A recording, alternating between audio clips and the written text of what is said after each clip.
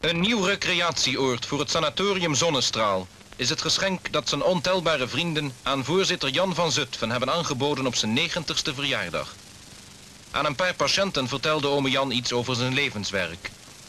Beste kerels, jullie gaan nu binnenkort genezen naar huis. Maar toen ik jong was, was er bijna geen gezin waarin er niet één of meer stierven aan de, aan de zogenaamde tering. Ook in mijn familie. Ik was diamantslijper en de diamant wordt geslepen in een dop met een koperen steel. Als die stelen afbraken, werden ze bespaard voor een uitgaansdag.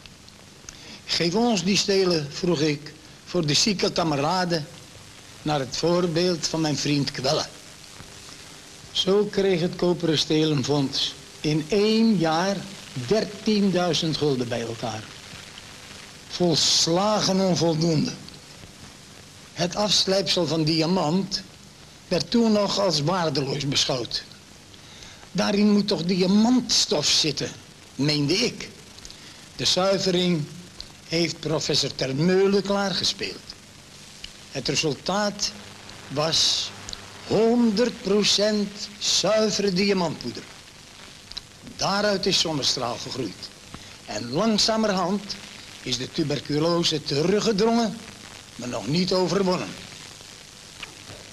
Voor de patiënten is de beste medicijn rust en zuivere lucht.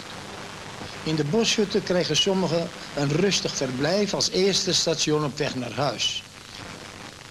In talrijke werkplaatsen zijn onder andere de houtbewerking en de meubelmakerij. De metaalbewerkers maken van alles. Van adresseermachines tot collectespeltjes. Want de jaarlijkse TBC-collecten kunnen nog niet gemist worden. De meeste genezen patiënten gaan naar huis als volwaardige arbeidskrachten. Het enige verschil met de overige is dat men van hen zeker weet dat ze gezond zijn. En wanneer jullie nu naar huis gaan en je vraagt me, hebt u me nog iets te zeggen? Dan zeg ik, geloof in datgene waarvoor je vecht. En vecht voor datgene waarin je gelooft. Overal en altijd.